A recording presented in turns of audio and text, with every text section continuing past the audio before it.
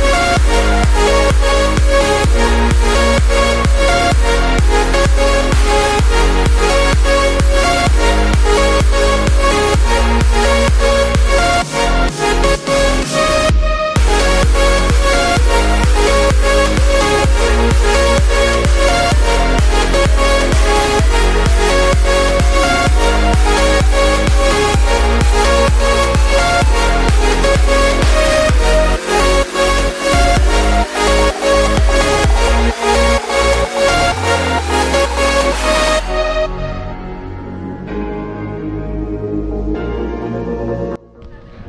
Happened there, Frank?